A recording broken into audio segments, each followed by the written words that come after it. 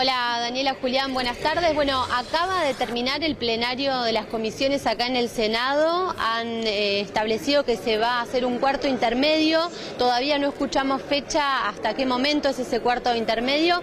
Lo cierto es que esta reunión había empezado a las 3 de la tarde y son casi las 7 de la tarde. No consiguieron las firmas para obtener el dictamen que el oficialismo pretendía tener en la tarde de hoy, que incluso desde la mañana viene ya haciendo circular un borrador con las modificaciones que estaban dispuestas para que este dictamen salga, pero las firmas no están, el gobierno no consiguió la cantidad de firmas necesarias para que termine la discusión en las comisiones y es por eso que se establece este cuarto intermedio a partir de ahora, no sabremos si hasta la semana que viene o si se va a retomar la discusión en las próximas horas.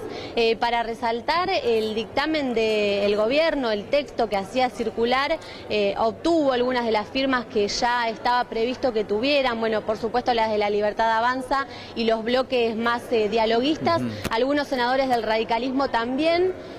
Acá me doy vuelta porque están saliendo ya algunos de los senadores de este plenario para ver si si podemos conversar con ellos, pero ya adelantó el senador Martín Lustó que va a presentar un dictamen aparte.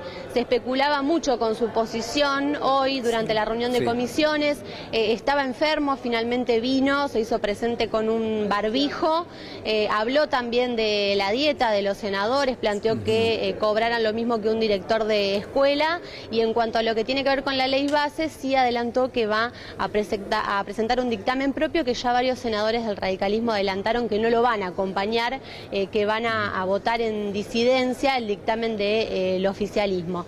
Eh, si les parece, ahora cuando salga alguno de los senadores, eh, conversamos con ellos para ver cómo sigue, porque ahora estamos en cuarto intermedio.